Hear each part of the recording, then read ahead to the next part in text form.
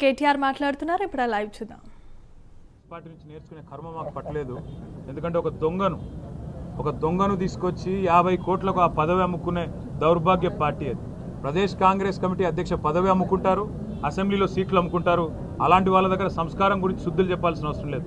సంస్కారం గురించి చెప్పాలంటే జానారెడ్డి గారు పెద్దలు వారు వాళ్ళ పార్టీ అధ్యక్షుడికి చెప్పాలి? కేసీఆర్ గారికి పిండం పెట్టమన్నప్పుడు ఏం పోయింది సంస్కారం? ఎక్కడ తెచ్చింది సంస్కారం? కేసీఆర్ గారిని బహిరంగంగా ఉరిదీసి రాళ్ళతో కొట్టి చంపాలన్నప్పుడు ఇదే జానారెడ్డి గారు నోరెందుకు పెగలలేదు? సంస్కారం గురించి మాకు కాంగ్రెస్ సన్నాసుల నుంచి నేర్చుకునే అవసరం లేదు. కాంగ్రెస్ పార్టీ ఇవాళ దౌర్భాగ్య పరిస్థితిలో ఉంది. ప్రదేశ్ కాంగ్రెస్ కమిటీ అధ్యక్ష పదవిని అమ్ముకునే దిక్కుమాలిన పార్టీ సీట్లు అమ్ముకునే దగుల్బాజీ పార్టీ ఇవాళ కాంగ్రెస్ నాయకులే కదా. ఈడీకి పోయి కంప్లైంట్ ఇస్తున్నారు మా అధ్యక్షుడు డబ్బులు వసూలు చేస్తున్నాడని. అట్లాంటప్పుడు మాకు సంస్కారం గురించి వాళ్ళ దగ్గర నేర్చుకోవాల్సిన కర్మ మాకు లేదు. Thank you thanks for